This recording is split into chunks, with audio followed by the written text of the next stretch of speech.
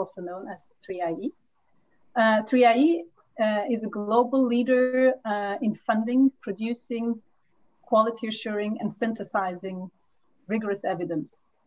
We support studies and reviews that examine what works, for whom, why, and at what cost in low and middle income countries. Uh, we're also a global advocate for the generation and use of quality evidence in development decision making. Uh, before we start, uh, as you're probably all now very uh, used to, we'll have a few notes uh, on housekeeping. Uh, first of all, please use the Q&A box for questions, not the chat function.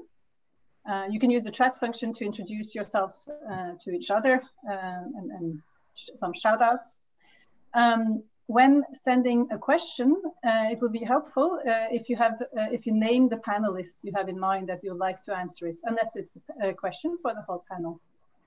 Uh, if the event is disrupted due to any reason, we will shut it down and reach out to you over email. Um, the event is being live streamed on YouTube and shared on social media. And if you are joining on our live stream, uh, please leave your questions in the comments box. Also, we encourage you to tweet any questions, points of views on Twitter. Uh, if you do, uh, very grateful if you could tag uh, at 3IE News while you tweet so that we can further retweet your tweets. Um, Finally, uh, the, the session will have my opening remarks, then we'll have a panel uh, discussion, presentations and discussions, and we plan to have uh, about uh, 20 minutes uh, for your questions uh, to the panel. Um, so that should, should make for a very exciting and, and fulfilling session.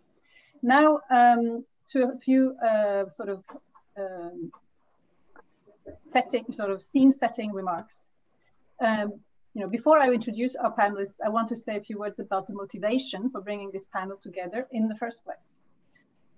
The Swachh Bharat mission, or Clean India mission, is a countrywide campaign initiated by the government of India in 2014 to eliminate open defecation and improve solid waste management. It succeeded in reducing the practice of open defecation in India dramatically just before the pandemic hit us. 3IE has been involved in promoting uh, its latrine use message through our evidence program on promoting latrine use behavior change messaging on latrine use. However, it is likely that the pandemic is interfering uh, with key with the key message of the SBM, namely that of toilet use. We are all encouraged to stay home and wash our hands due to COVID. But is this messaging, messaging uh, also causing people to stop using community toilets? The most vulnerable populations, which may have limited access to toilets of their own, are the most likely to be affected by issues related to community toilet use in the times of COVID. So we hope the panel discussion will describe the potential impact of the pandemic on the gains achieved by the Swachh Bharat mission and the existing systemic issues it has brought to light.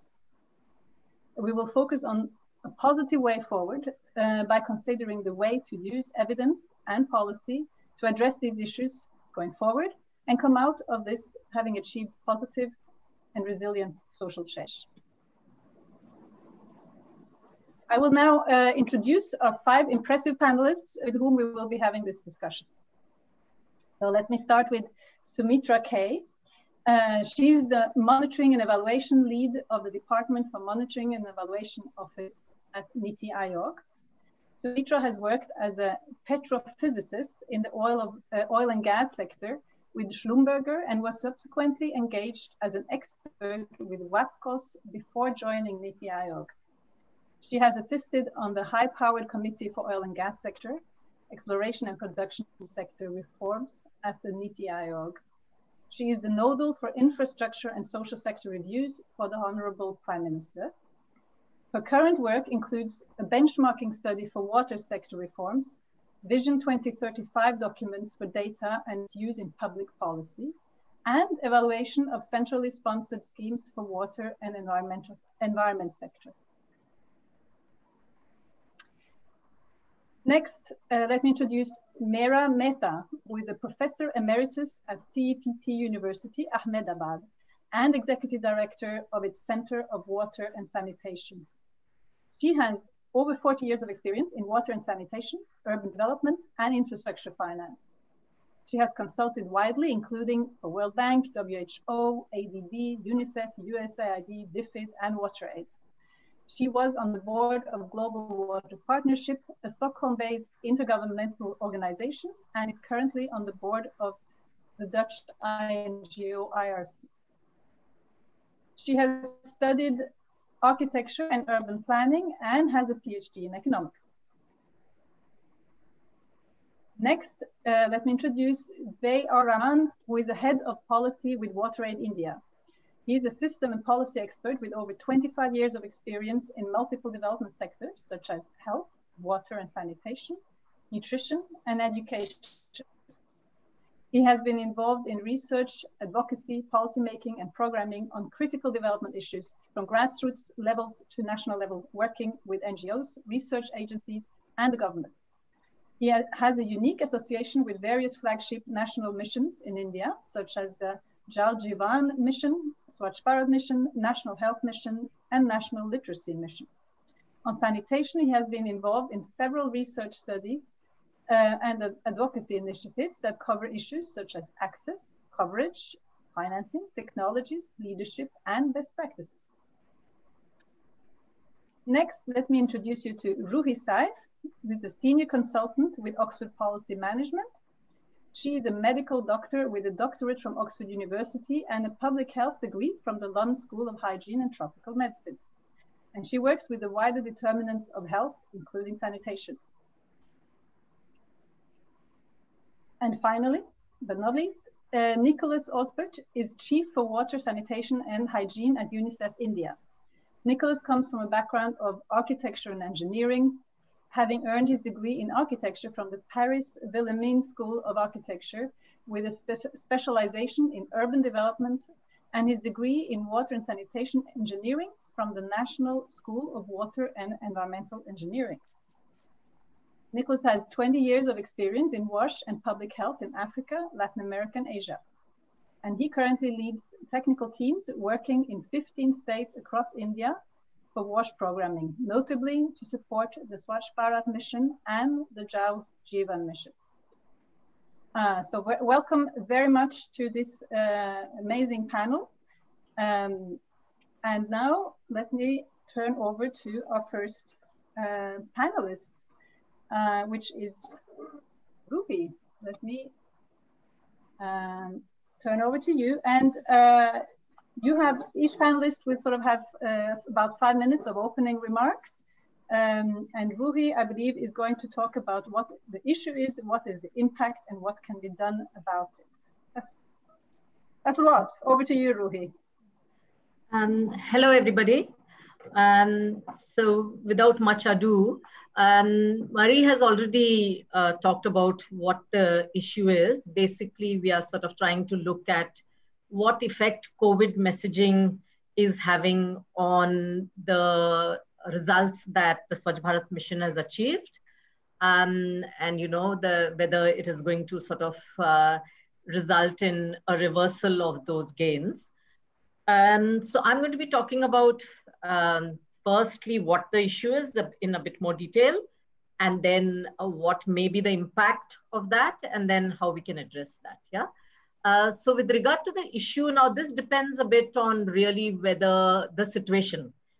Now, if you look at uh, the effect of COVID messaging in the context of toilet use, say in rural areas or in households who have their own toilets, it could actually have quite a, um, you know, it could actually help in re-emphasizing the need to maintain hygiene, use toilets, to wash your hands, and can actually have a very beneficial effect we can bring in the additional message that you know you need to wash your hands because of covid but then in addition after toilet use after these particular times washing toilet washing hands is very important So in these contexts, it can actually have more of a positive effect, all this messaging, right? Uh, this, of course, assumes that these households all have adequate water, have adequate soap, but then uh, we do know that this may not always be the case. In fact, in a recent study which uh, Oxford Policy Management, where I work, uh, conducted in Bihar last year, we found that uh, with the SBM, there was certainly a very steep rise in households using toilets in rural Bihar. However, amongst those who didn't, uh, the one of the main reasons cited was the lack of water, and this was particularly the case during summer months. So this sort of um, infrastructural issue can affect uh, how much the messaging is actually put into practice. And these infrastructural issues bring us to the next setting, uh, and this is actually the urban setting. So what can be the impact of this COVID messaging in urban settings, particularly in low income areas uh, where a lot of people may use community toilets? And use of community toilets is quite high. So in a recent report, India Spend report, uh, using NSSO 2018 data, they found that about 43% um, uh, uh, households actually use community bathrooms and 11% use community toilets. So that's quite high in terms of numbers.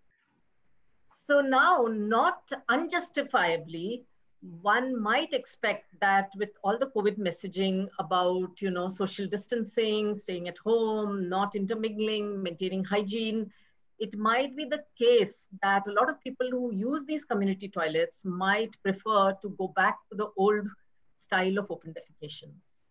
And uh, what are the kind of reasons this may happen? So this is more to do with the kind of deficiencies that may exist in the current uh, uh, community toilet space, uh, beginning with firstly, for example, overcrowding. So the expected norms for toilet use are somewhere between 25 to say 50 per toilet seat. Uh, but um, uh, ORF report uh, looking at the sanitation support program of the World Bank in Mumbai found that they had managed to achieve a ratio of 190 people to one seat. Uh, and it's not uh, dissimilar in other slums. Uh, so given that there are more than four to five times the number of people who should be using toilets who are using these toilets, um, one would expect crowding and that could put people off. The second would, of course, be the lack of any hand washing stations. Even more so, even if there are stations, the lack of water, lack of soap. The next would be that uh, ventilation, which can be quite poor in these uh, toilets. And given the increasing move now towards concluding that it is not just person to person droplet transmission, but the possibility of aerosol remaining in the air for almost three hours, you know, especially when there's poor ventilation, when there are indoor environments, uh, this can play quite a negative uh, effect as well, right? Uh, so uh, this can be an additional factor. Um, the final one, which again, a lot of research is being done on is with regard to squat Indian toilets or Western toilets without a lid where there is some thinking now that with flushing and with this pressure, there is the toilet plume, which might result in aerosolization and again, posing a risk in the situation of uh, poor hygiene and poor ventilation. So given that these sort of conditions could justifiably result in a decrease in toilet use, what could be the impact of this decrease in toilet use? Now, this depends on the time horizon. Uh, so another study which uh, my colleagues uh, at Oxford Policy Management undertook together with uh, the Center for Social and Behavioral Change, uh, Viacom Media, and uh, with BBC Media Action and BMGF, um, looking at Navrangi Re, a television program which was trying to present fecal sludge management in a kind of entertaining manner. This one of the findings was that fear-based messaging works for a short time, but then after that, people sort of, you know, the risk perception decreases, they get back to their normal life. So it's possible that initially the COVID messaging results in decrease in toilet use, but then after that, people sort of start going back to, you know, using the toilets. However, there is a difference here. Now, the risk of slippage, not going back to the original level, is higher because A, this may be a recently acquired behavior, and B, given that there are all these infrastructural constraints which are real and which people are now aware can actually contribute, right? So what could be the impacts of this increase in open defecation, which we could assume might actually continue for longer? So one would, of course, be the reversal of the uh, you know gains of the SBM. Second, the impact of this increase in open defecation with regard to public health. Given that already there is a lot of you know uh, unfinished agenda of the SBM with regard to treatment of fecal sludge, the focus has been on toilet use, but you know you need more of a focus on fecal sludge. So given that with that problem already being there, the increase in open defecation, and then some findings now of the coronavirus in fecal matter, uh, though of course we don't know the extent to which how long the virus remains alive, whether it can contribute to fecal oral, fecal oral transmission, but basically the public health benefits of this increase in open defecation. So given that there are going to be these public health impacts, this kind of reversal, what can we do about it? Um, so first, perhaps if we try to push toilet use uh, in the context of COVID, that may not be such a good idea if it is done uh, without any caveats, given that there is a real possibility of increase in infections of COVID. And in fact, this is not un, uh, you know, this is not a imaginary scenario because there has been some research where they suggest that the increase in COVID in some of the slum clusters in Mumbai may well be related to the use of community toilets, right? So what, what do we do? Uh, so one thing is, of course, that uh, there's a short term and a long term. So with regard to the short term, while we still wait for these infrastructural aspects to be addressed, then how we can how can we uh, advise people to take to continue open defecation but take adequate care. So there are these really lovely uh, posters and um, videos which have been designed by the Gates Foundation and put on a site, indiafightscovid.com. And the CSBC also has got this COVID dashboard where there's a lot of social and behavioral messaging which could be drawn on, uh, say with regard to, you know, how they very beautifully draw on this uh, rap based uh, Bollywood movie uh, and have these pictures of people standing from, from each other, encouraging them, uh, apna turn aega uh, kind of messaging, where they stand outside the toilet in the open, away from each other.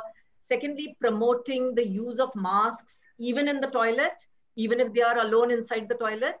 Um, you know, given the aerosol-based um, question mark. Other simple messages like the importance of washing hands before you go to the toilet so that you're not sort of risking somebody else. And even if there are no hand washing stations there, washing hands at home with soap, going back home and washing hands. Um, other simple tips like, you know, using your elbow to open the door and then possibly setting up tippy taps, which would require community involvement, which WaterAid already actually has, and Raman would more, know more about that. Uh, there are already videos about simple sort of ways in which these tippy taps, which use very little water, don't require contact, could be used. So these would be the short.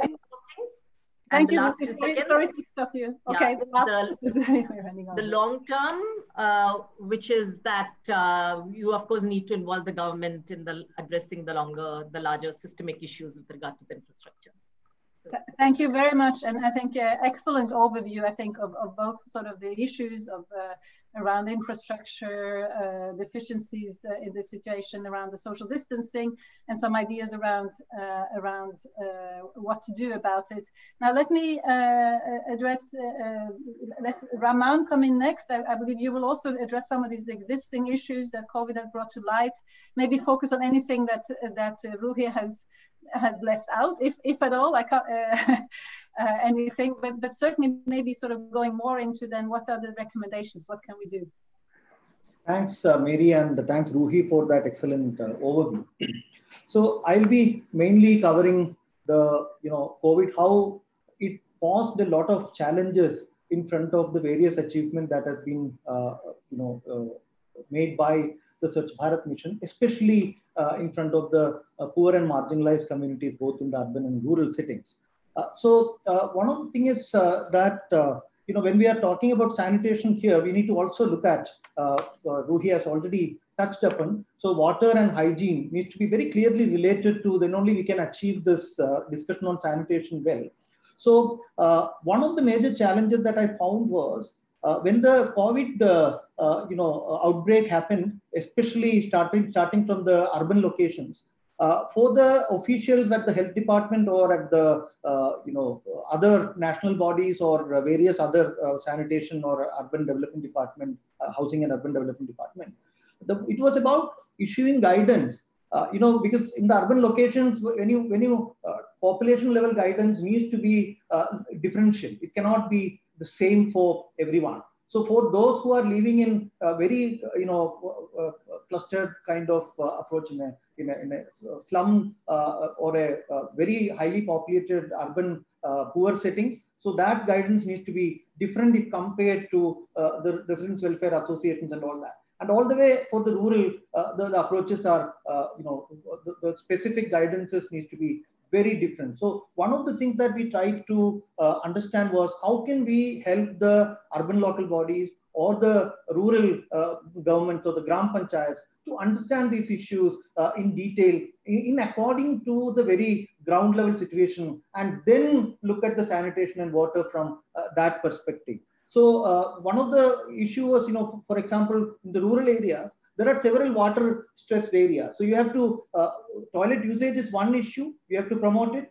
And then you need to also promote uh, hand hygiene in a major way. Uh, in the urban locations, we can talk about sanitizers or alcohol based rubs and all that. But in the rural area where there is no water available in many places and there are, uh, you know, there's a need to promote hand hygiene. So how would you go about it? What kind of solutions, uh, you know, uh, the Gram Panchayat needs to take? So for example, in Orissa, I've, I've seen one of the good uh, initiative that the Gram Panchayat uh, chairpersons were given uh, some, you know, specific under the Disaster Management Act they have given the Gram Panchayat uh, uh, chairpersons or the mukhias or uh, you know sarpanch, whatever we call in elsewhere in the country, equivalent powers of the district magistrate for you know doing whatever specific necessities that they need to fulfill in terms of fulfilling the uh, sanitation or water or hygiene or other health related requirements in the locality including for uh, setting up the quarantine facilities or you know those kinds of things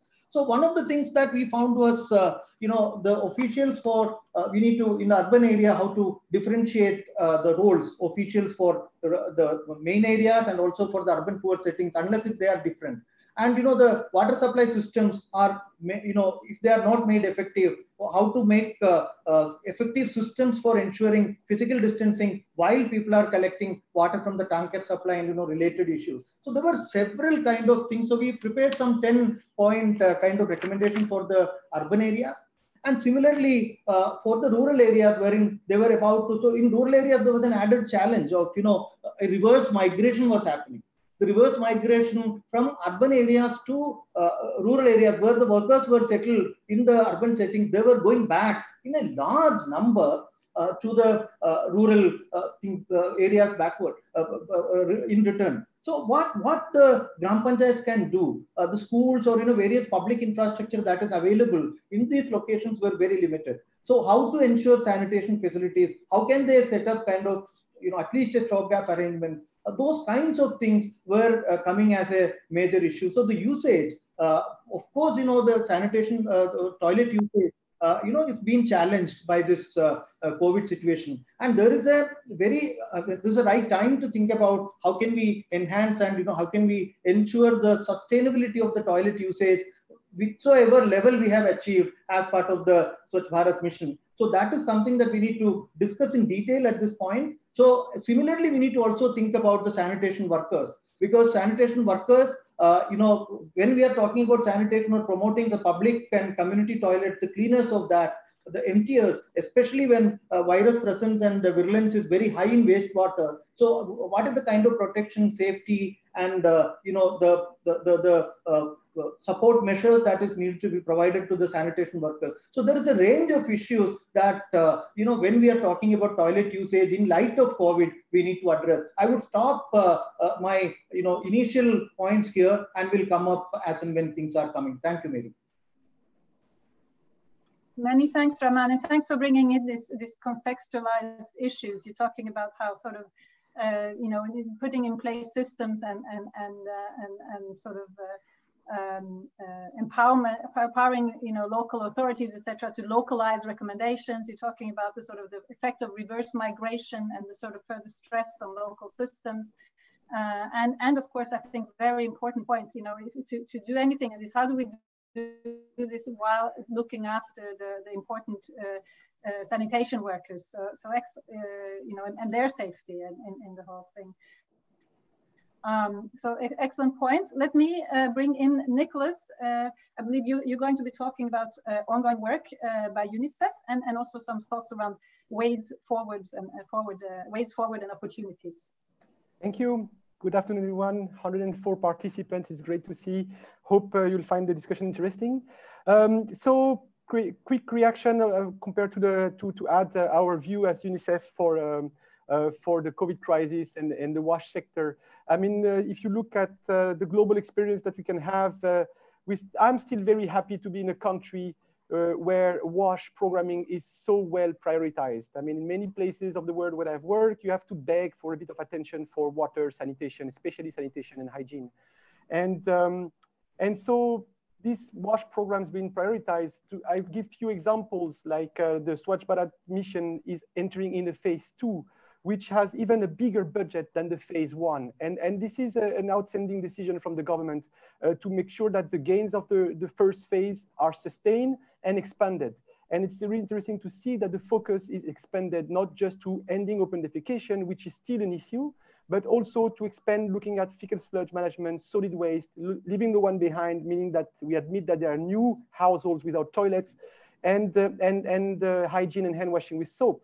Um, then we also have the second biggest program, or even the bigger program, is the Jal Jeevan mission on water supply. So uh, let's hope to make, I mean, I think the challenge here is to make the best of uh, out of this investment in a timely manner, despite of the operational barriers brought by COVID and, uh, and, and make sure that the implementation of those two flagship program, SBM phase two and JJM, are have a COVID sensitive lens, meaning they respect that they, they, promote social distancing and, and, and finding ways to operationalize these.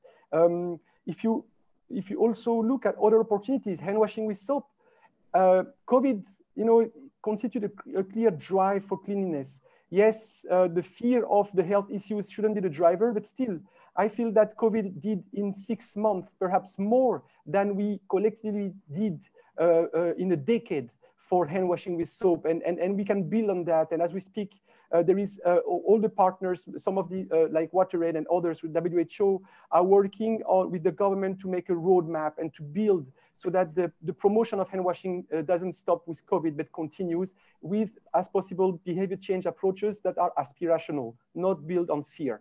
Um, and uh, so there are many other opportunities like uh, these new ways of doing trainings, much more online that, that can be efficient, you know, the old way of doing cascade training and, and one day reach the last service providers that reaches the community, there you can go directly. Um, so it brought a lot of changes in what UNICEF does in the country. And uh, basically, we, we, we, we have two types of intervention, the COVID specific, which is really much the emergency response, and the COVID sensitive. And uh, we have been able, I mean, it was a struggle to build those plans and to shift, to shift gears and to shift the way we work. Uh, but um, we, we, we are focused in this uh, in the response for both COVID specific and sensitive in three main areas. The the first one, of course, is behavior change communication, looking at uh, social distancing, hand washing with soap, safe hygiene practices. And so to date, through our networks and, and investments, we have managed to reach 38 million people. Uh, at the scale of India, this is not much, but this is still uh, quite, uh, quite important. Um, the second pillar is around infection prevention and control in communities and in key institutions, primarily uh, healthcare facilities, uh, schools and preschools. And uh, so this is very much on capacity development. And to date, we have been able to reach 400,000 uh, workers to, to, to, for the provision of COVID-19 wash services in communities, schools, and health facilities. And um, the third one is um, all the work around supply and services, water and sanitation to affected communities. And uh, here we have in UNICEF a special focus one on the uh, uh, dwellers in urban slums and migrants or people on the move. And this is about providing supplies, uh, hygiene items such as soap. So we have a great partnership with Unilever and we were able to provide 6 million uh, bars of soap to date. Uh, protective equipment, not for doctors. This is handled by WHO and the health team, but for sanitation and water and sanitation workers. Disinfectants, sanitary pads, and we also contributed to boost local production. Uh, I have great examples of uh, booze industry that were reconverted into producing uh, disinfectants. And so to date, we have been able to reach around 3.1 million uh, people in, in, again, in urban areas or, or people on the move.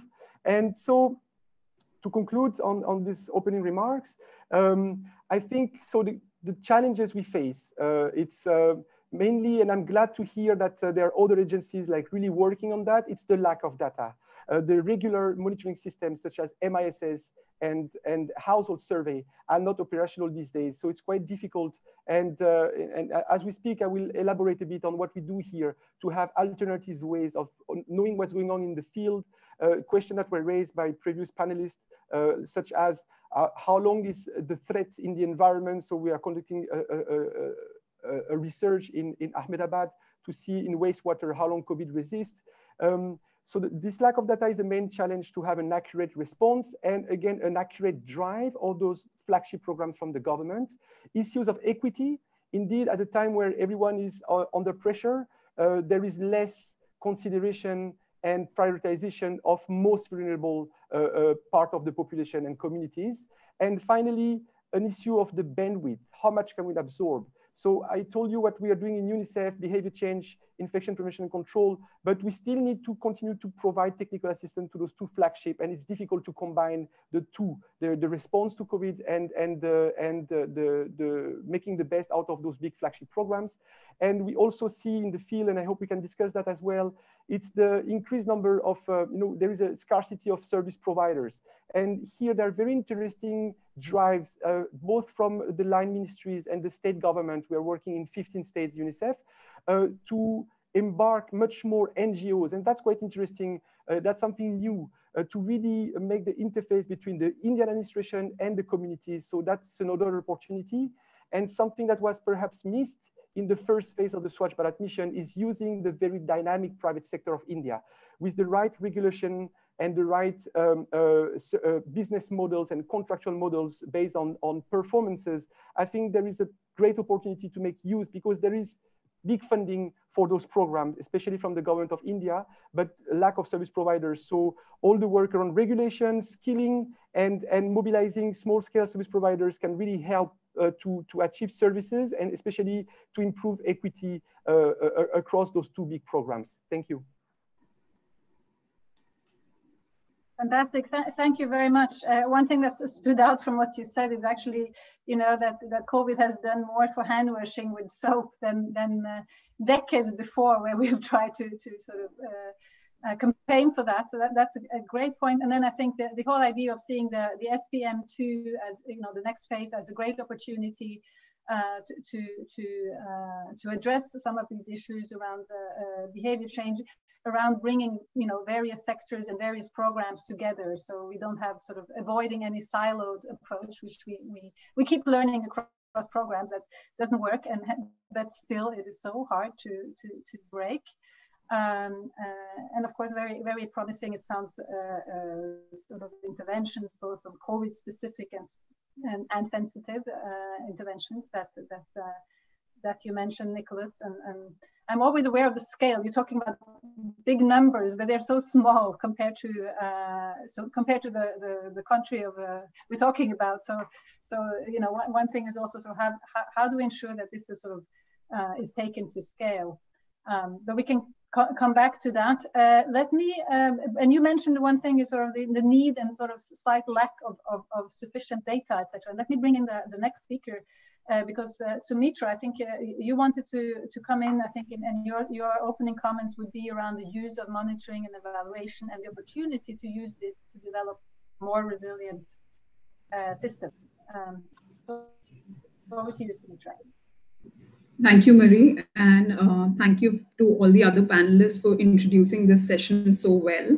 So probably I'll pick up from uh, where you, where Marie you closed about silos. So uh, today we are also looking at the whole issue in a holistic fashion and trying to say that you know a holistic inclusive and sustainable sanitation services sector for it to be maintained what are we looking at? Like what are the aspects that we are trying to you know monitor or evaluate to make it a very very uh, you know efficient and effective system? So um, just you know uh, concluding kind of from what other panelists have said uh, a it is a multi-context system where we are saying the problems of urban poor versus problems of rural poor are quite different. So, you know, systems are designed and planned differently for them, and the adaptation is also different.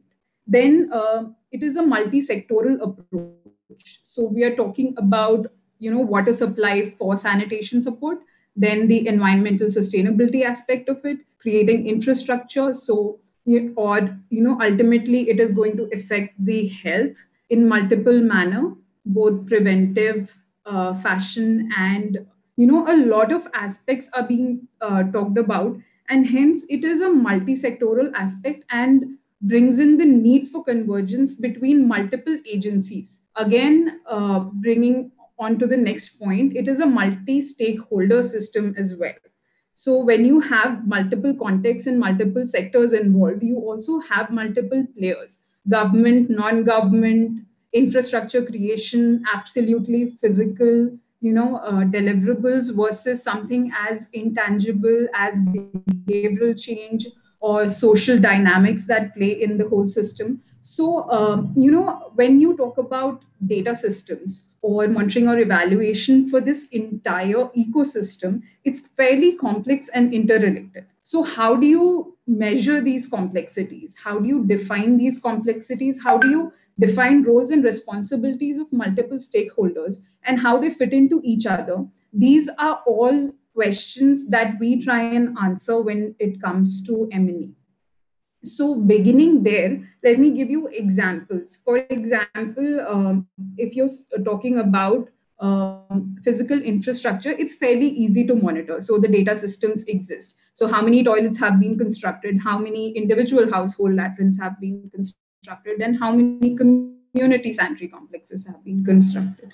So that is fairly measurable and easy to do.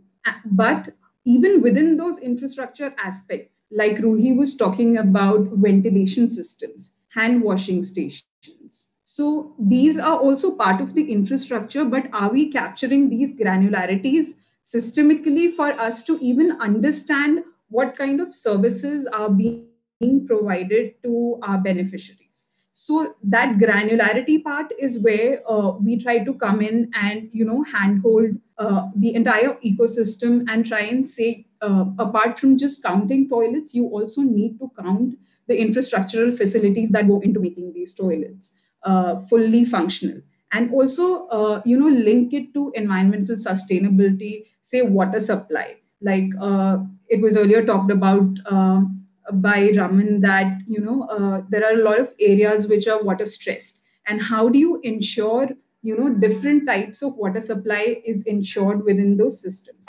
Then um, coming on to so so far I've mostly talked about monitoring more than evaluation because if you look at evaluation, it's sort of an inline process. A program takes three to five years to actually show some improvement or impact. And then you take a year or two to actually conduct an evaluation completely. And then you come back with results. So that feedback mechanism is kind of long term and more detailed. But monitoring systems, if planned well and executed simultaneously, give you short term, real time feedback systems which becomes very very important in context of shocks like covid so when you're saying you have something so drastic as COVID coming in and disturbing your whole plan, then the system to respond and be agile about it, you need to understand what the problems are. Not after a few months, not after a few years, but immediately. Hence, the monitoring systems, if made well, build resilience and agility into the system. So that is where uh, you know you have the whole responsiveness coming in again, going back to the roles and responsibility part, if you're talking about availability of water or availability of um, workers to clean and sanitize the facilities, or availability of soap or consumable products or even menstrual hygiene products that come into the whole perspective. Um, these have to have interlinkages with other supply chain systems. So then who plays what role? And even the distribution between government and non-government roles. So the whole system has to be looked at, you know, uh, it is temporally different, it is spatially different, and it is financially very, very different. So when you're talking about all these aspects, then building robust data systems and monitoring systems kind of uh, give you a perspective of how to plan better and how to adapt better. Then uh, moving on, um, what we also like one question that I saw. Just to say that uh, if you can finish in, in a minute or so, because we're running a bit over. So uh, I'm just simultaneously taking the question in the chat panel. So it also talks about like reverse migration, putting more pressure on individual household latrines within households, which were designed for a set number of people. And then if there is reverse migration and people are moving back into their houses, then you know you're not accounting for it. Then what do you do? So you know those kind of uh, immediate actionables will take uh, agility within the system and also feedback mechanism. So converting evidence that all of us here are involved in building into action is where the key focus, in my opinion, should lie on. So I'll probably close here and I can take up specifics later. Thanks, Marie. Thank you, Sumitra, and, and very great point. I think, you know, it, it reminds me of what they always say, which is happens to be quite true, is what is counted counts and, and, and, and that's sort of one of the major issues that you're, you're saying. And we need to go beyond counting counting toilets so to speak uh, to put the focus on, on these additional issues. Uh, one thing to, to, to also mention is of course that you know I think that the world of monitoring evaluation maybe has has moved on a bit and, and monitoring data are, are excellent and can be used for good evaluations. And so you you know the focus now is much more on uh, implementation research where you could actually very quickly see, you know, by trying out new things, you can evaluate whether a new uh, a new feature will lead to a behavior change. And so, so the, the, the, times when evaluation was five years after the, the, the, the program ended, so to speak, we, we sort of, we moved beyond that. Uh, and I think, and, and, and having the monitoring data are, are very key to be able to do that kind of rapid uh, trial and failure, so to speak, or trial and testing uh, evaluations to, to improve implementation and, and so on. So um, great point. Let me bring in the, the last but not least, uh, Meera, uh, the last panelist. Um, and I, I, from what I see, you're going to, to talk about SBM and the focus on individual household toilets. Uh, and, and, but also if you want to, to reflect uh, on, on what you heard from other panelists. Over to you. Thanks, Marie. Uh, just before I start, uh, since everybody was, Sumitra and you both referred to monitoring, I just wanted to highlight that uh, the center where I work, Center for Water and Sanitation, actually we started with a very major project on performance monitoring of water and sanitation, urban water and sanitation. And we have been doing this over the last decade continuously. We started in two states of Gujarat and Maharashtra across all cities. And now we are in five states, about 1,000 cities. All smart cities under the Smart Cities mission are being covered under that. And we are currently in discussion with the Ministry of Urban uh, Affairs, Housing, whatever, MOA, to take this uh, countrywide. So all 4,000 cities. So that's something that we actually have a quite a large database which covers these uh, 30 or so plus indicators for water, sanitation, and solid waste management in cities. And we do this annually every year. It's an online platform that has been set up and uh, the, the results are available in public domain. So it links up quite well to what both of you actually were saying about monitoring. We also do provide a lot of sorry, maybe you can also uh, uh, ask, uh, you know, if we can actually get the link in the. Yes, I will ask. I hope somebody from my team is there and they will put up the link in the chat. Uh, we also have been working with, uh, and I must say that this has been funded by Gates Foundation. Uh, when we started in, I think 2008, we were probably one of the first uh, institutions outside of North America and Europe to be funded for WASH sector, and they took the risk with us, and I hope we have actually fulfilled their uh, wishes. But anyway, so Gates has continued to support us, and we actually currently are supporting government of Maharashtra for Swachh Bharat mission. You know, and that we have been doing, I think, last five, six years now. We worked with them to make urban areas, and don't ask me about Mumbai not being ODF, but we've been supporting government of Maharashtra to make urban centers open defecation free. In fact, we worked with government of Maharashtra to develop this whole idea of ODF plus and ODF plus plus, which is now being adopted by uh, government of India also and is being used everywhere. Our work currently with government of Maharashtra goes beyond only ODF, but looks more also at fecal sludge management because if you want to talk of safely managed sanitation, you can't stop only at the toilet and you have to manage the entire value chain. And that is the work we are currently doing. Again, it's a very ambitious program because it is uh, doing, attempting to do this statewide across 300 plus cities in Maharashtra. And that's something that currently in progress, a bit slowed down because of COVID, but we are quite hopeful that. And it's largely being funded through public finance and local government owned finance in fact. So it's something that's quite unique in terms of what we are trying to achieve.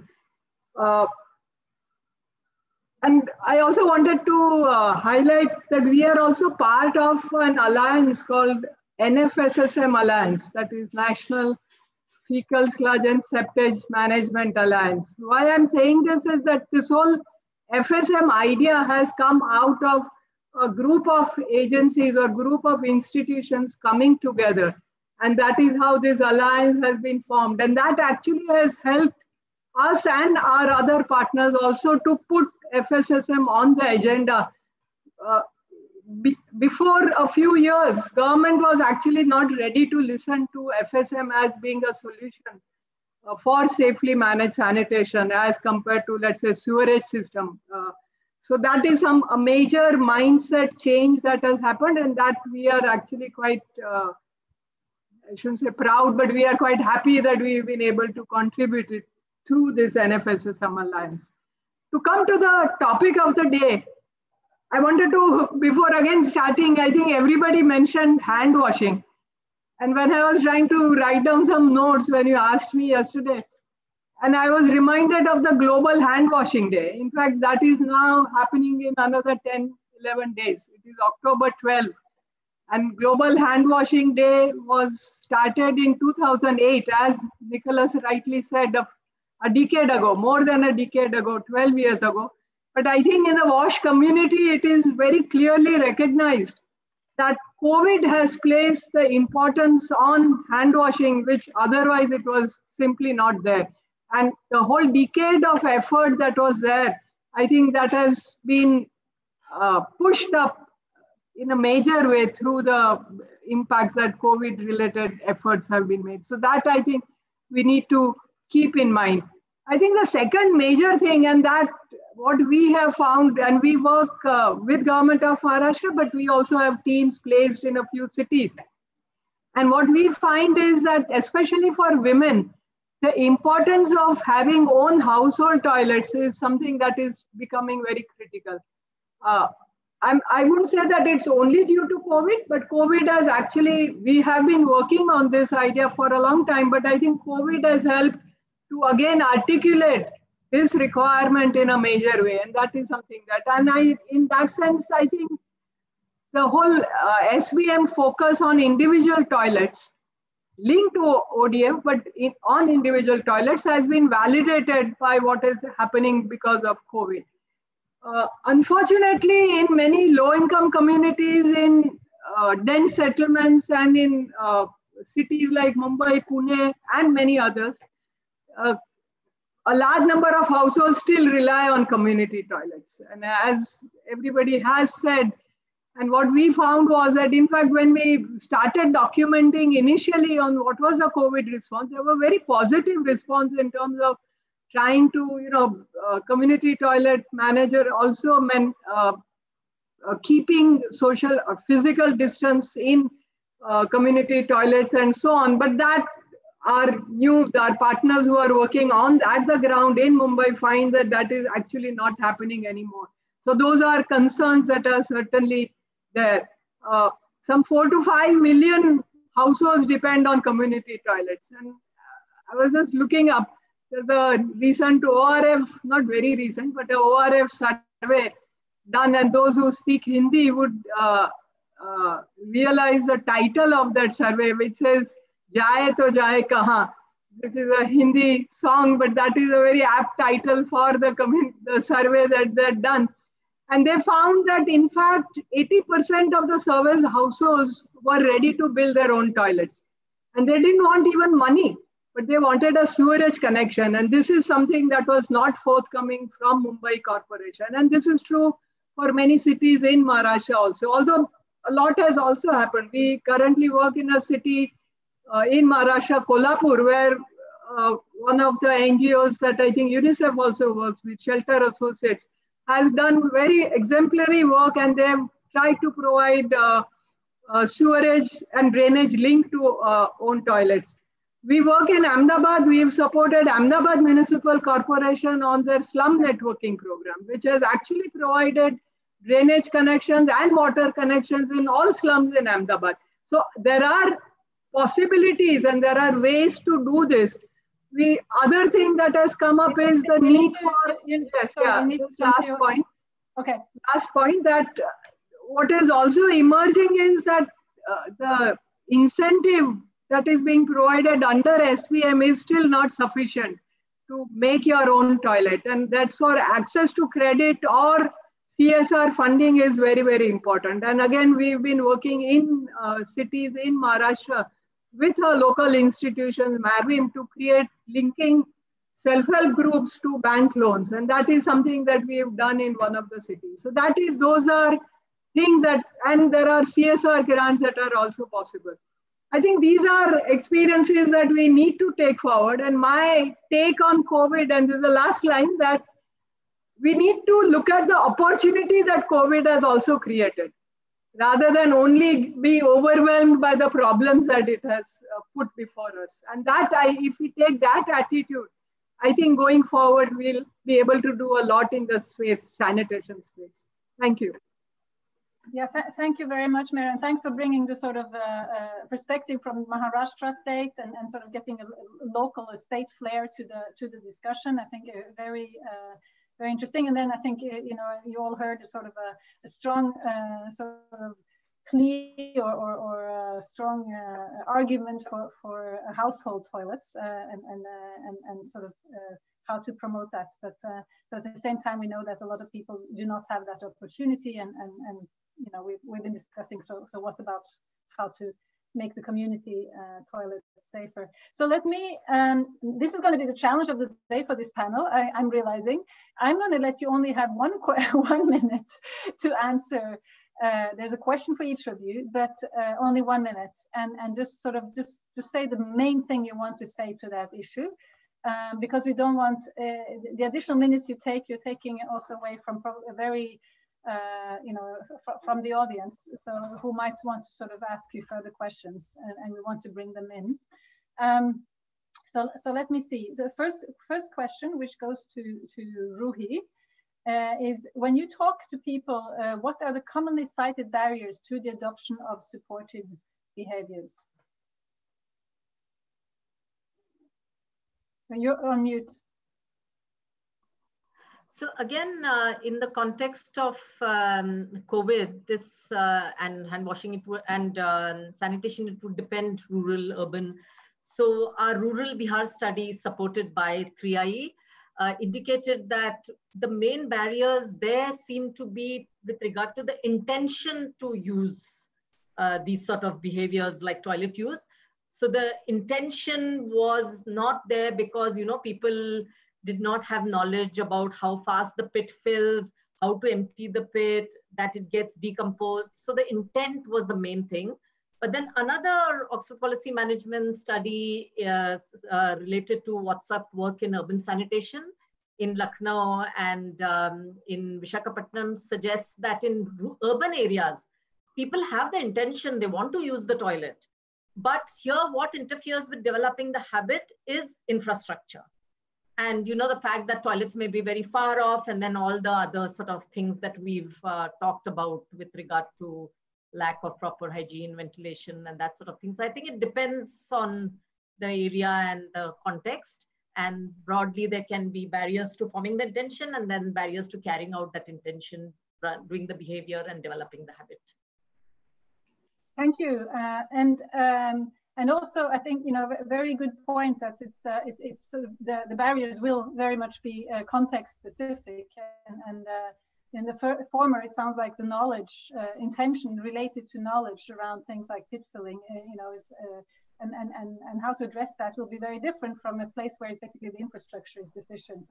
Um, excellent point. Just also to add, I didn't say that explicitly in my introduction, but the, the, the 3IE latrine use program we referred to was also uh, supported and funded by, by Gates. So very much uh, an area that Gates is, is, is, is you know, a champion of and, and, and supporting the knowledge and evidence uh, in.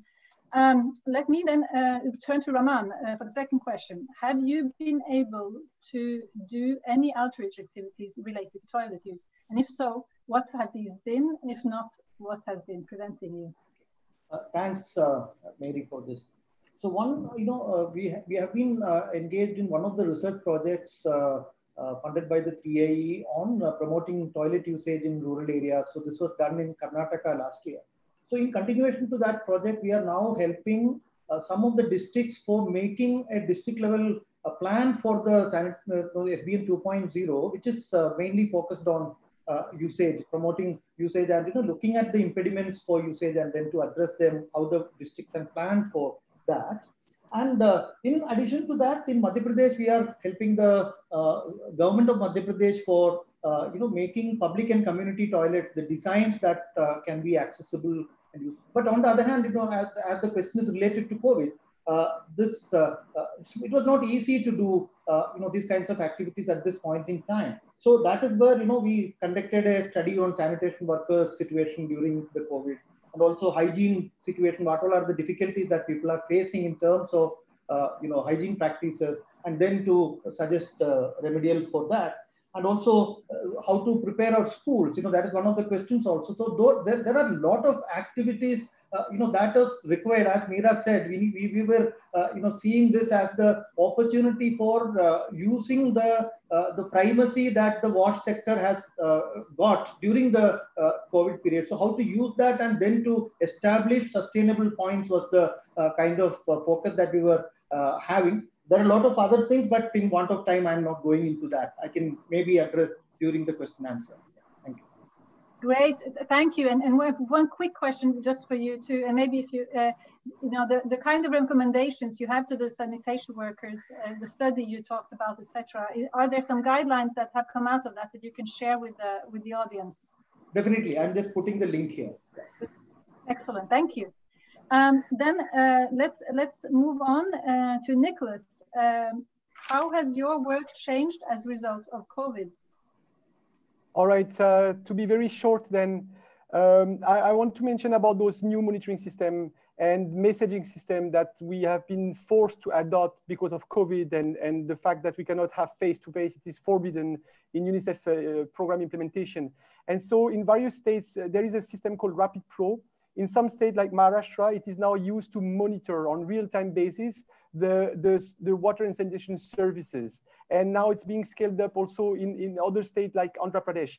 Uh, the same system uh, is also used to message, to, for messaging. And today uh, we heard that the cabinet minister urban development uh, from UP uh, uh, adopted that system to really uh, send messages targeting the population in 30 urban slums. And this is 8,000 to 10,000 calls weekly to pass on messages and in a very much integrated approach on, on social distancing, health and vaccination, uh, maternal and child nutrition, wash, and child protection. So, so this is uh, this is one of the changes. The second one is uh, the, the, the type of partnerships, and uh, we have very interesting partnerships with uh, the, the, corporates such as Unilever.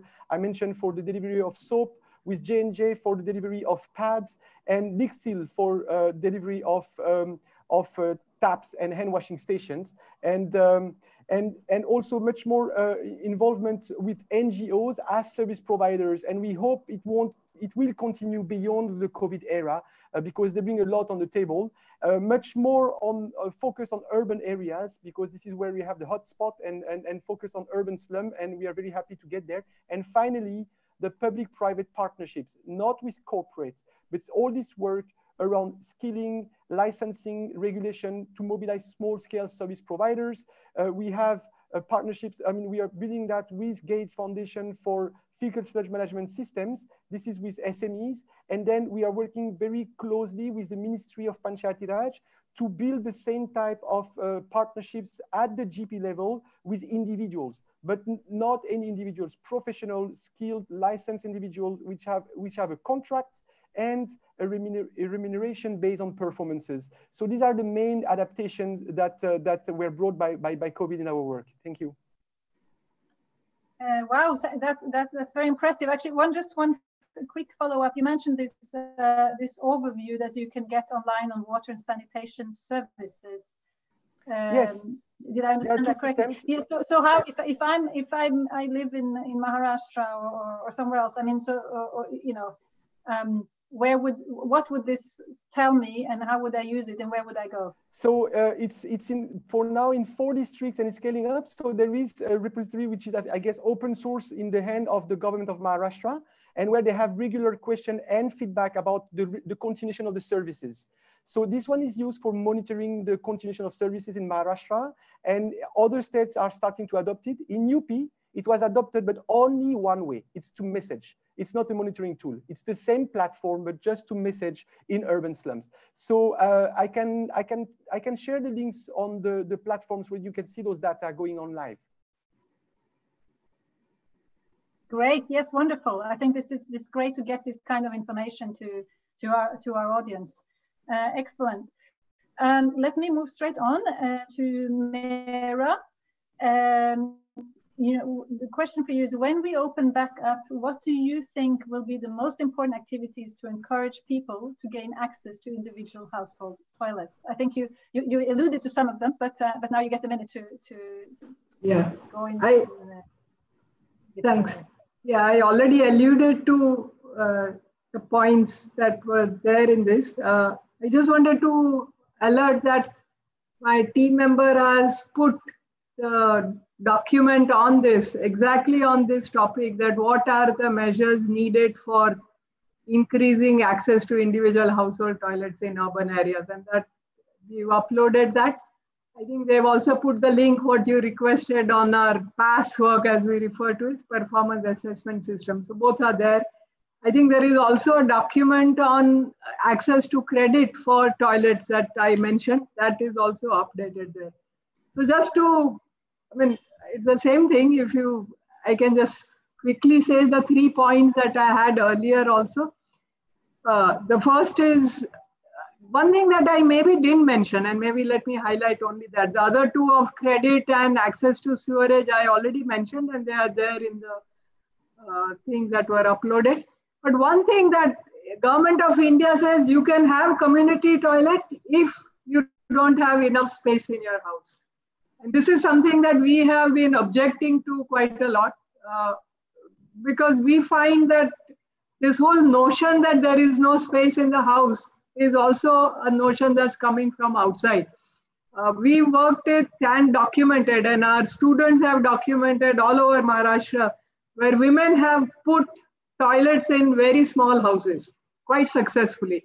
And these are quite well documented and again available for people to see.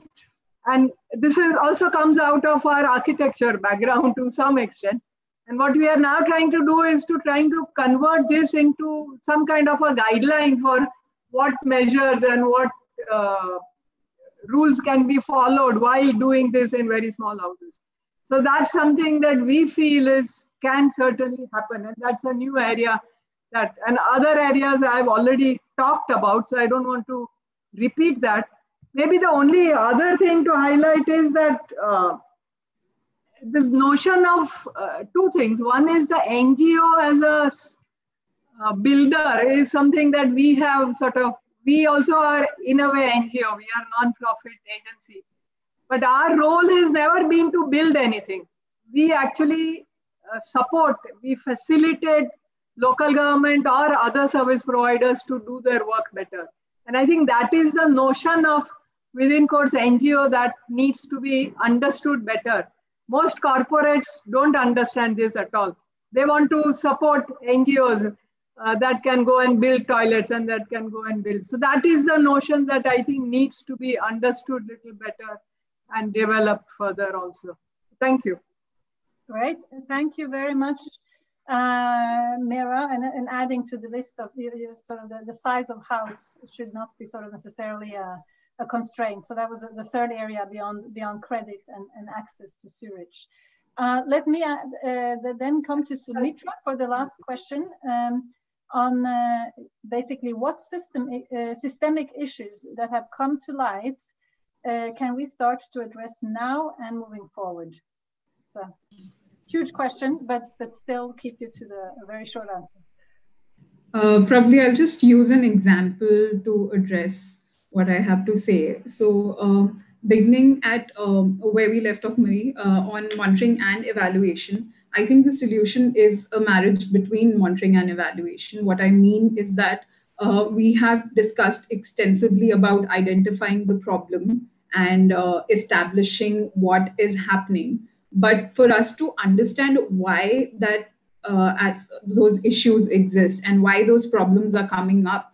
For example, Meera was talking about smart cities. So Pune uh, actually tracks uh, footfalls in public toilets. So once we observe that the footfalls have, say, for hypothetically reduced, so then uh, what are the reasons? Is it because of lack of proper operations and maintenance within those uh, community toilets or is it a behavioral change aspect for that we need a holistic evaluation of what other factors can be observed and also triangulate the causes and establish that causality and hence come to a problem so right now is it O&M or is it behavioral change or both that we need to tackle so hence uh, the marriage between monitoring and quick evaluations, like you uh, explained, is something that could be taken up.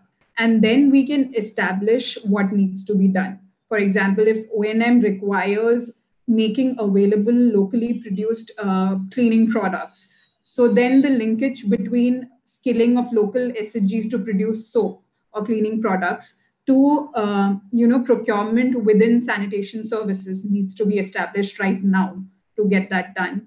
But also going forward, uh, we need to establish longer behavioral change aspects that need to be looked in. So probably I'll just close here if you, unless you have more specific questions. No, I think that's that's excellent. I mean, I think that is so important. You see so many programs that sort of have ready-based solutions without having local diagnostics. So you have to have, as you're saying, local diagnostics, then you have to think through the theory of change, and you test it. I mean, that, that's how, and it's an ongoing, uh, um, ongoing process.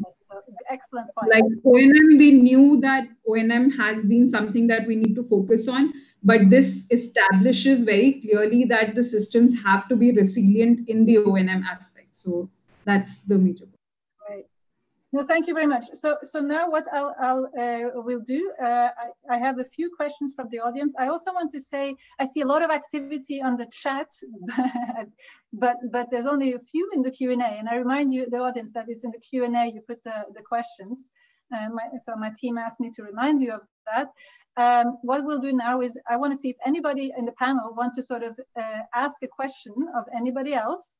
And then I will read uh, a few of the audience questions, and then each of you will get uh, a chance to address uh, the, the questions you'd like, so to speak. Any questions between the panelists? You're all experts uh, and, and, passionate about this field. Any Anybody want to question uh, any of the others? Good. it's not a question, but it was a response to what Nicolas said about uh, service providers and particularly private service providers. Uh, this is, I think, crucial in the sanitation space, especially FSSM space. And this is something that we have been trying to do as you know, the desludging activity is largely private sector dominated, although it is about 50-50 in uh, Maharashtra. But we are trying to introduce a service called scheduled desludging in one of uh, two of the cities in Maharashtra, and now probably will be taken statewide, where a private sector player has been uh, uh, contracted with a performance-based contract and, and linked to payments by the local government and no user charges. So it's a quite a new system that has worked well. Ministry of Urban Development has now said this is a good model and they want to introduce it elsewhere also. So that's one thing. And second thing I wanted to highlight was that uh, in terms of SBM. Please try to make it as a question to, to any of the other panelists. Okay, uh, the thing is that if any of you have faced problems, because uh, under SBM, uh, they had ruled out that tenure is not an issue as far as uh, incentive can be given for household toilet. Uh, in Maharashtra, we have faced a lot of problems in many, and Mumbai itself is a good example, even but even smaller cities where tenure still remains a problem. And I don't know whether that is true in rural, what happens, whether tenure is an issue or not. And how do you resolve something like that? Okay. That's, Great, great question. So the question of tenure and, and is that a sort of widespread uh, uh, issue? Well, you, you, you'll then uh, give me a second and I will introduce a few questions from the, the, the audience. Uh, and thanks audience for your patience. There's a question from Pankaj Patnoy, not addressed to anyone specifically. What do you expect the impact of this to be on women who have the primary responsibility for fetching water for domestic use? Will this affect overall toilet use too?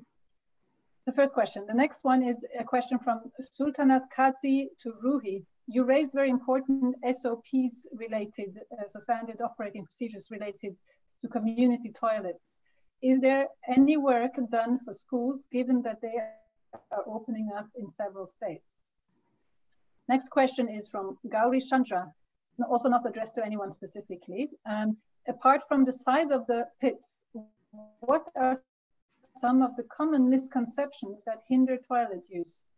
Um, parenthesis, perhaps regarding cleanliness. Um, then there's a question from Charlotte uh, to the panel. Uh, we solve new challenges with new approaches and technologies. Are there any new or no and novel approaches that you find exciting? Are there any specific challenges that you think would lend themselves well to innovation?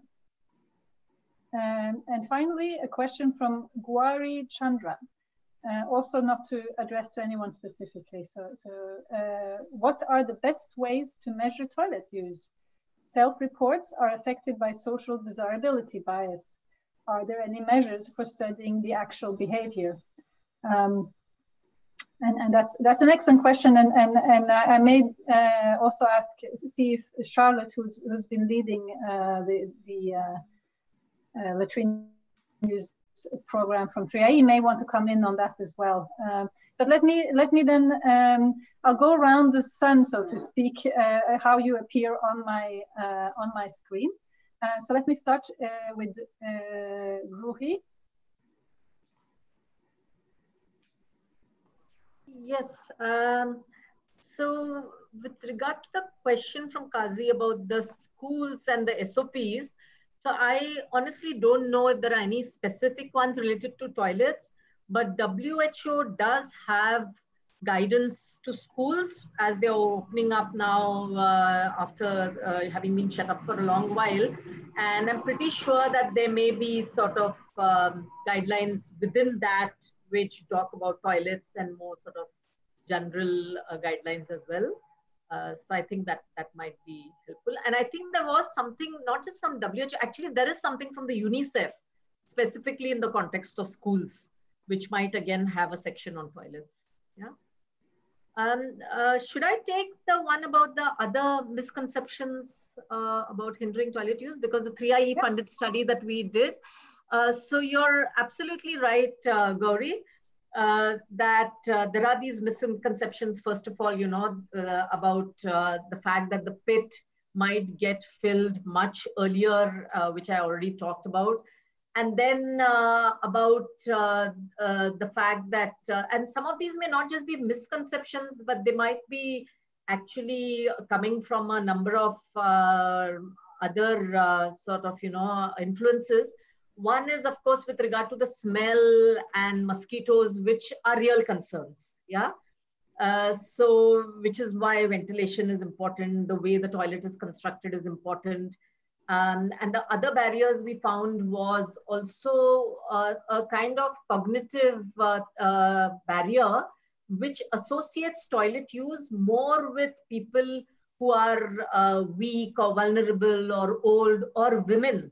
And a lot of that came from the initial uh, messaging and advertising that we had, which was focused on, you know, how uh, toilet use was linked to the Ghar Ki Izzat and the Ghar Ki Bahu and then I think gradually when the government also began realizing that this is sort of then promoting the message of use more for women rather than for everybody in the household, then the messaging started changing. So there are those kind of uh, misconceptions as well. And with regard to cleanliness, uh, it's um, more of a real thing really, unless, uh, you know, people do uh, with individual toilets, it's easier because it's under them and then they can clean the toilet uh, but of course, with community toilets, then it becomes much more difficult unless the community is involved or there are systems in place. So that's about the question on misconceptions. And the other question from Gauri, which uh, maybe Charlotte will add to as well, but again, in our uh, 3I's related study, uh, to get around this uh, uh, very difficult uh, aspect that you know self-reports may result in social desirability bias, especially given that SBM with SBM there was a sense of shame now being associated with not using a toilet. One of the things which we did was that uh, we had technical advice from the from RICE uh, Research Institute for Compassionate Economics, which was helping uh, 3IE with this particular program. And uh, we had sort of two or three questions related to toilet use, which asked about the use of toilets in different ways. And then we tried to sort of triangulate that. So one was, when did you last use the toilet? Then the other was, uh, you know, in the last 24 hours, when did you use the toilet? And then the other was, do you usually use the toilet? So trying to have this question in different ways and then trying to compare the answers. Uh, and then the other thing which has been used sometimes is a kind of uh, uh, something which automatically sort of, you know, when the door opens, sort of clicks over kind of things. These sort of automated things. Uh, and then there's of course the use of these kind of CCTV kind of things which click, but which is not really considered uh, very appropriate. Uh, but there are these sort of toilet use uh, door opening related counters, but I'm not very sure how effective uh, those have been. Thank you. Thank you. I, I was also told early, earlier days there was a, you know, there were there were some studies that were conducted around um, looking at uh, the amount of of, uh, of fecal matter on on mosquitoes' legs but it's a quite complicated way goodness. of, of, of, measuring, so to speak. But I have heard that that has been done too. Let me um, let me go over to you, Raman, for for to address any question. Uh, yeah. So I was looking at the question answer, uh, you know, box. So there are some important questions I think I should uh, respond to. Uh, one, uh, I'll pick up Meera's question and uh, you know that very quickly. Uh, they, yes, you know the tenure issue is uh, you know coming as a problem across whether it is rural or urban. So what we need to do is this, you know we need to also understand the street level bureaucracy while we are talking about the national guidelines. How to translate things uh, at the you know at the end of service level is something that we need to think about. So maybe some district level interventions are needed for both urban and rural settings. I understand. And coming to one important question on the operation and maintenance systems, a very recent study that we did in uh, Orissa and Bihar, two districts each, we found that the operations and maintenance of specifically the institutional toilets, schools, anganwadis, and health facilities are creating a lot of problems because the unit cost that has been provided by the specific programs uh, for these facilities are much lesser than what it is required. So unless and until innovative ways of uh, now, unfortunately, we don't have the MPLAD also. That has also gone. Uh, at, at, least you know, we could have gone to the MPs, but that's not going to work. MLAs probably that is not going to work. So the 15 Finance Commission or you know similar kind of decentralized financing that the urban local bodies and the rural local bodies can uh, actually rely upon. How to ensure that their planning covers the operations and maintenance of uh, at least institutional facilities and uh, you know those uh, sanitation facilities is important. And the third one is about the caste dynamics, which is, I think, an important question that has been raised. So we are, as part of a uh, project that we are doing on uh, rights and freedoms of uh, women engaged in manual scavenging in India, uh, one of the major problem that we are seeing is that this, uh, we, we talk about this intersectionality of uh, gender and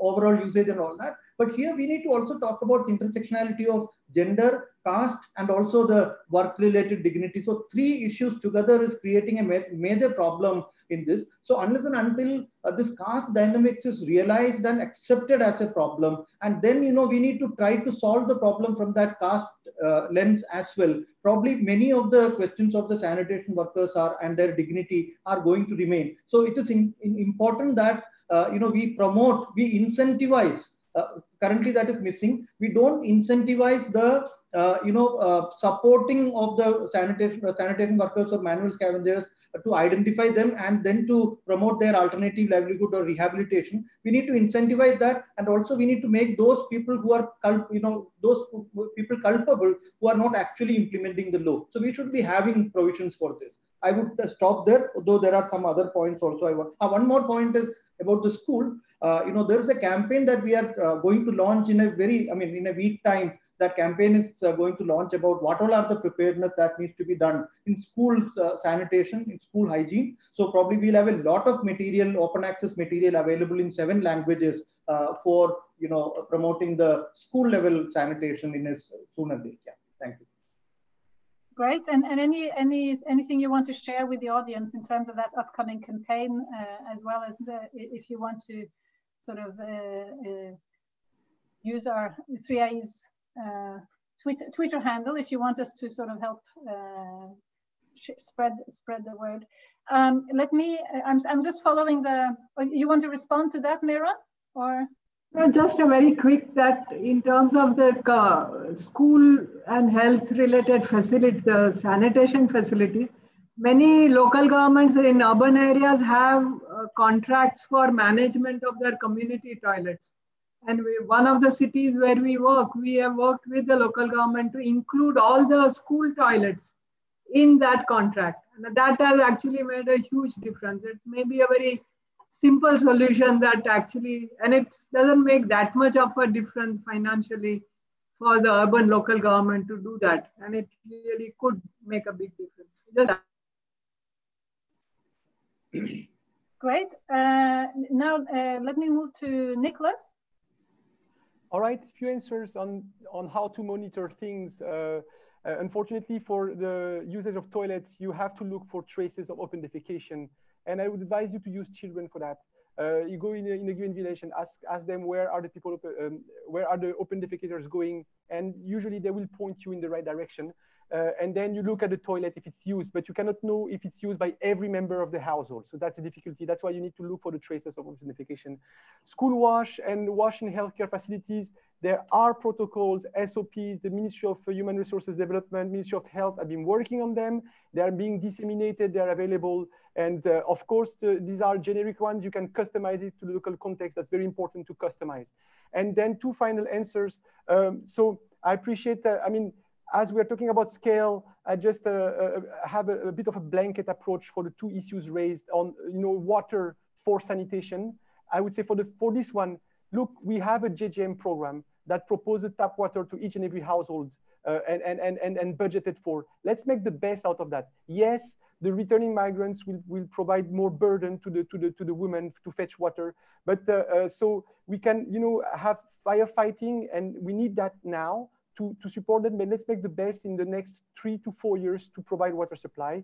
And the second one, it's also a blanket uh, approach on, on, on the issue of uh, manual scavenging, and it's all the professionalization of the sector.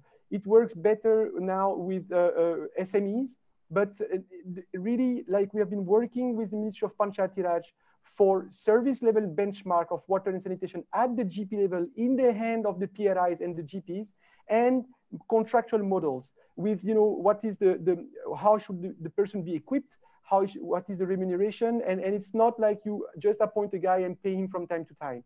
You appoint the person equip train and and and so it's starting. So it will take a bit of time but you know by cross learning on best practices and also because the government is really struggling to go to re uh, retrieve the 24 points of GDP which were lost because of COVID. If we support those initiatives um, uh, uh, with, with uh, by promoting livelihood, combining uh, combining uh, service provision not only for water and sanitation with employment and livelihood, we can we can get there. And let's not be shy with this. This is not privatization of the public sector. This is professionalization. The leadership stays in the hand of the public sector and the communities with the right contractual arrangement this is a public service for the people, by the people, but you professionalize it. You stop doing uh, uh, bits and pieces and then, and, then, and then the facilities decay. And I think that's a, a blanket solution that can help to also address the issues of the sanitation workers. Thank you.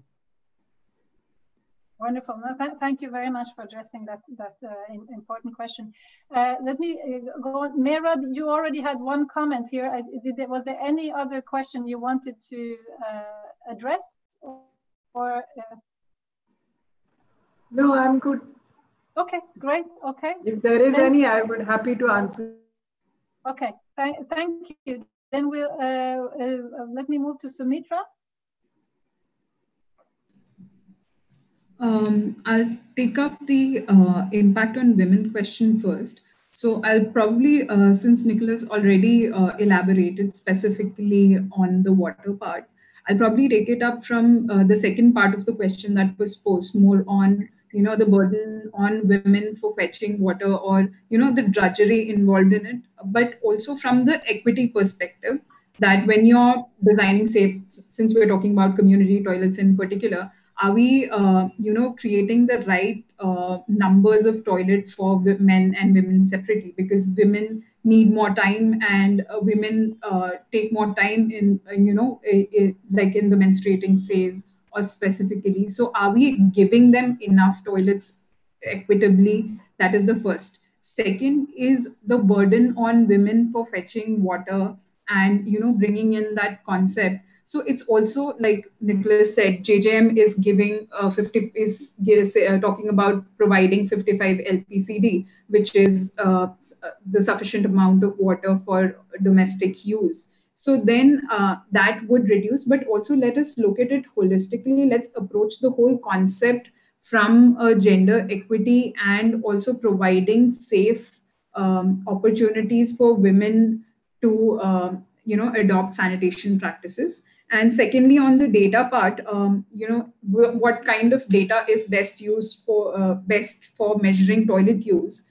Again i think this this is coming from the last year's 3ie discussion wherein it was uh, you know emphasized quite well that it's not just toilet use that we are going to measure but also citizens using toilets the other way around because if, you know not all members of the family probably use the toilet but the toilet itself might be used uh, on all days. So, you know, changing the dialogue from actually infrastructure utilization to actually changing people's behavior would be important. And for that, we can use multiple methods to triangulate that information, not just self reporting administrative data or self reporting by citizens, but social audits or uh, you know take up sensor based information like they do in smart cities so triangulation of data will validate all these sources.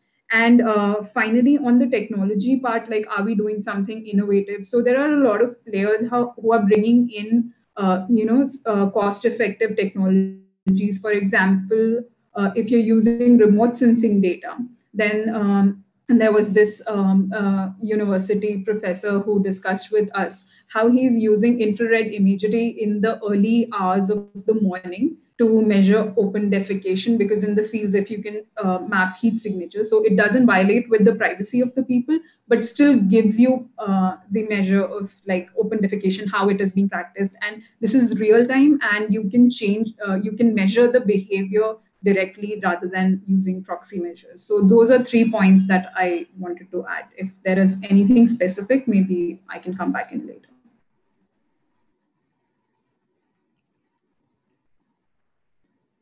You are, you are on mute. Marie. Yeah, I did it too.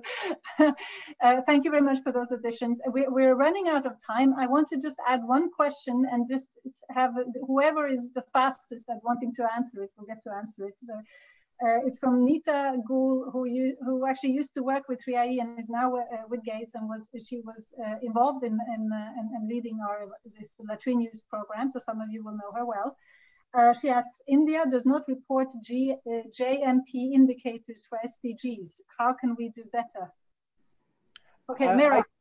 Okay, uh, well, can I answer because this is you very quickly. Meera, sorry.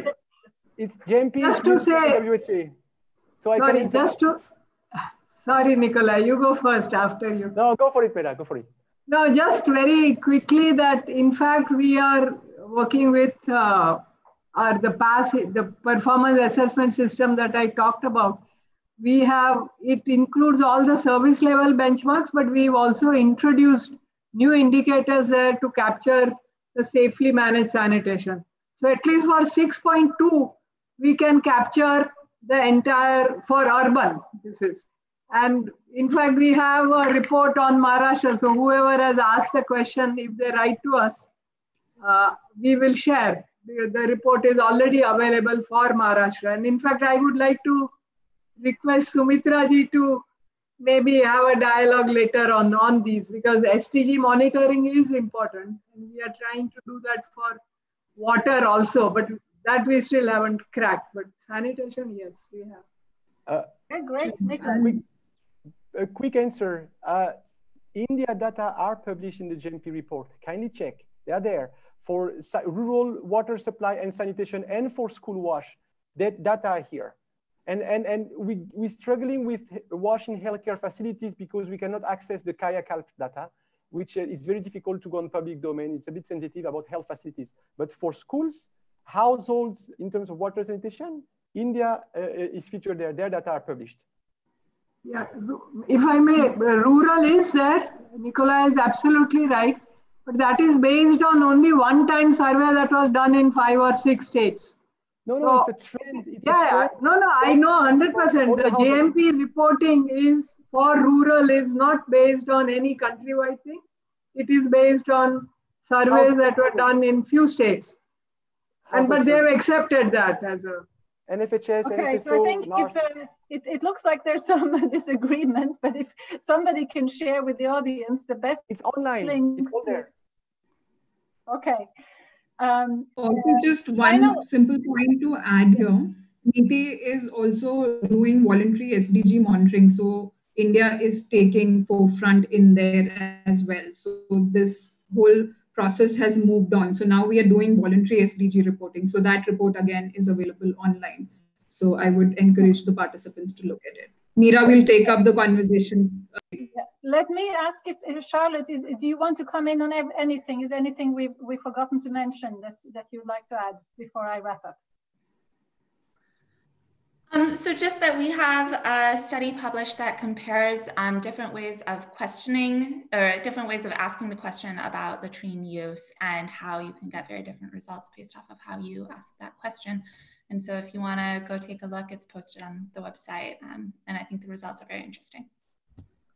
Great. And that's Charlotte Lane from uh, Evaluation Specialist from 3IE. Uh, yes, yeah, so please do have a look uh, at, at that study.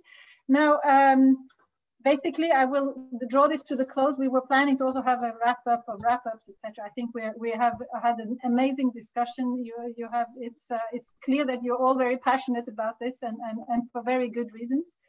Um, we, we've uh, we've heard from uh, from all of you that you know COVID-19 is definitely posed some threats uh, to increase uh, increasing latrine use. Uh, I, I, think one point made by Ruhi is also about the the possible slippage in behavior because some behaviors are not, you know, quite recently acquired. I thought that was also a very, very uh, interesting point. Um, but then we've also heard from all of you about uh, you know the knowledge we have about how to do this better and and the tools you know the monitoring the evaluation tools everything we have at our disposal to to find out how to do it better how to diagnose better how to learn better and bring all of these tools to uh, to inform uh, the phase two of SBM and also bring bring this uh, to our work in terms of of uh, getting out of the siloed approach. I think that came out uh, very clearly. Bring in the, various programs, bringing uh, you know the the private uh, sector in terms of service provision, uh, etc. All, all, all, very uh, very interesting and I think pr promising. Things that we can learn and bring into the into the work and the behavior change that that that we need to continue to to support going forward. Um, so just uh, with this, uh, would like to thank uh, this, this distinguished panel for all of your, your work, your passion and, and your contributions to, to today and uh, to the entire 3IE uh, team uh, behind the scenes who have made this, this event possible.